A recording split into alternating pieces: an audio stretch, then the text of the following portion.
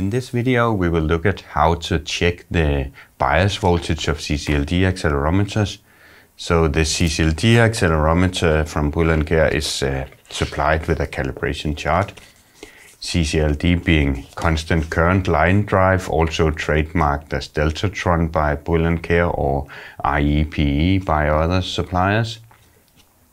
So on the calibration chart, we have the bias voltage specification, and the bias voltage is a good specification to check to ensure normal operation of the integrated preamplifier in the CCLD accelerometer.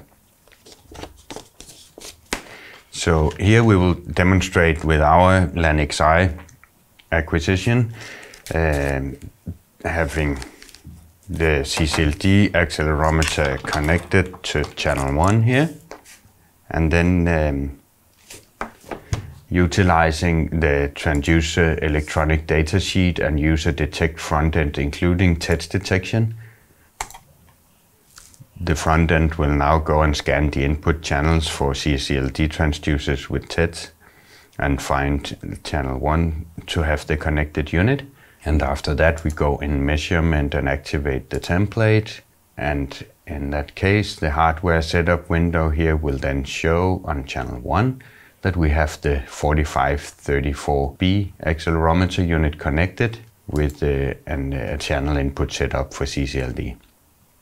So in order to check the bias voltage, we take a voltmeter and set up for DC voltage, a BNC breakout, T-junction to connect the accelerometer and also the conditioning unit, both via the T-junction on the voltmeter.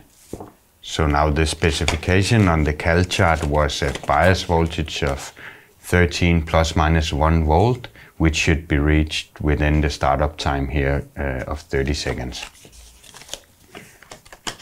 So this now happening on the DC voltmeter, or we could equally well use the acquisition unit itself. So we could use channel 2 set up as a uh, direct DC input.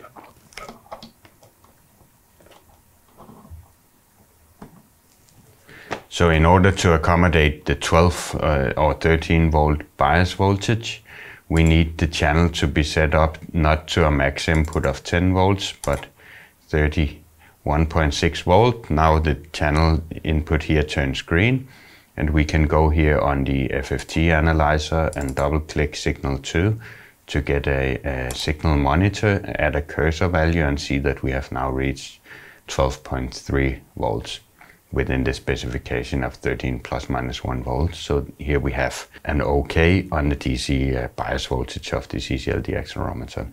In summary, we have shown uh, how to check the DC bias voltage either by using a DC voltmeter or using the acquisition system itself.